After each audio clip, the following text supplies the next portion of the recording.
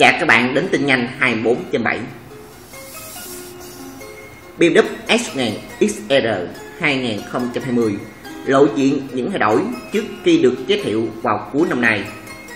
Cuối năm 2018, BMW Motorrad đã gây bất ngờ cho giới bộ điệu thế giới khi trình làng các phiên bản hoàn toàn mới của các mẫu Superbike đình đám BMW S1000 ER 209 với những nâng cấp toàn diện cả mặt thiết kế lẫn cái sức mạnh của động cơ. Và mới đây, vừa có những thông tin hé lộ rằng cái mẫu BMW S1000 XR cũng sẽ có nhiều nâng cấp ở mặt thiết kế tương tự anh em S1000 ER và có khả năng sẽ được chính thức ra mắt vào cuối năm nay.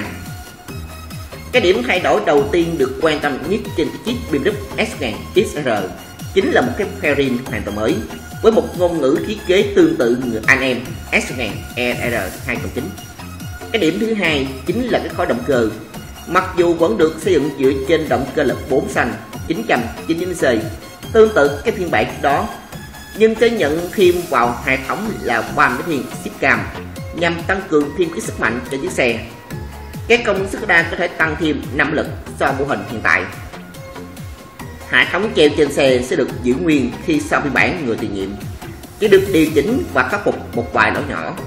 Và thêm đó là cái chức năng Dynamic Damping Control, kiểm soát cái giảm tiếng động, bao gồm cả hệ thống hỗ trợ người lái và hệ thống điều khiển phương tiện khác cũng sẽ được nâng cấp lên một cái cấp độ cao hơn.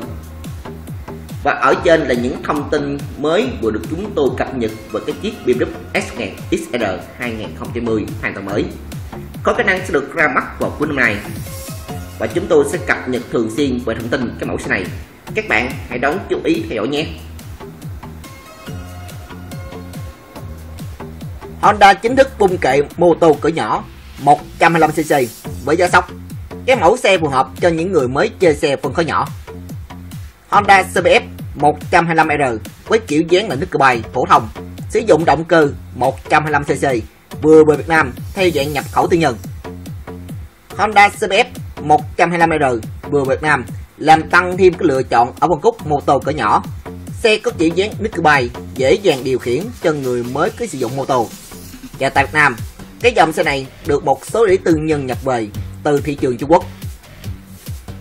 Đèn pha có thiết kế rất đẹp mắt, góc cạnh với hai dải led định vị ban ngày bên cạnh. Theo công bố của nhà sản xuất, việc dùng cái bóng led an toàn hơn và khi di chuyển trong đêm khi điều kiện thiếu sáng và giảm tới 60% cái điện năng tiêu thụ. Cái đèn xi nhan là halogen gắn ở phía trên, giống như những phần của những mẫu xe mô tô cỡ nhỏ khác. Xe có chiều dài là 2059mm và chiều rộng 764mm, chiều cao 1073mm, chiều dài cơ sở 1292mm, nặng 129kg, cái khoảng sáng gầm 167mm và chiều cao yên dừng ở mức 775mm không gây khó khăn đối với bốc dáng người Việt Nam. CBF 125R được trang bị phục ống lồng phía trước, phanh đĩa 2 piston, la răng họa tiết 6 chữ Y đẹp mắt, kích thước 17 inch. Xe không trang bị công nghệ chống bó cứng phanh ABS.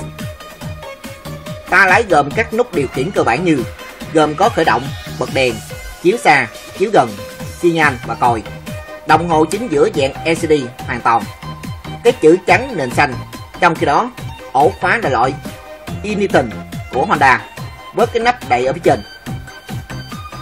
Bên xăng có dung tích 14 lít, thiết kế gồ ghề và khỏe khoắn phía sau dụng cái phanh tăng chống, mâm xe cùng kích thước 17 inch. Ống xả thiết kế lớn, mạ rơm bên ngoài.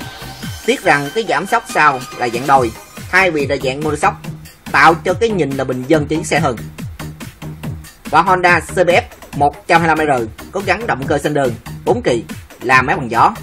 Với dung tích 105cc và cho công suất 7.72 kW tại vòng tua 8.000 phút cùng với đó là mô men sáng cực đại 10,36 Nm tại vòng tua máy 6.500 phút cái mẫu motor cỡ nhỏ đáp ứng được tiêu chuẩn mới Euro 4 cùng với đó là mức tiêu hao nhiên liệu lý tưởng rơi vào khoảng 62 km trên lít.